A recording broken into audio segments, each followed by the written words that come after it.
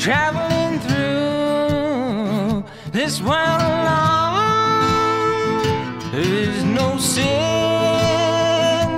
storm, or danger in that fair land to which I go.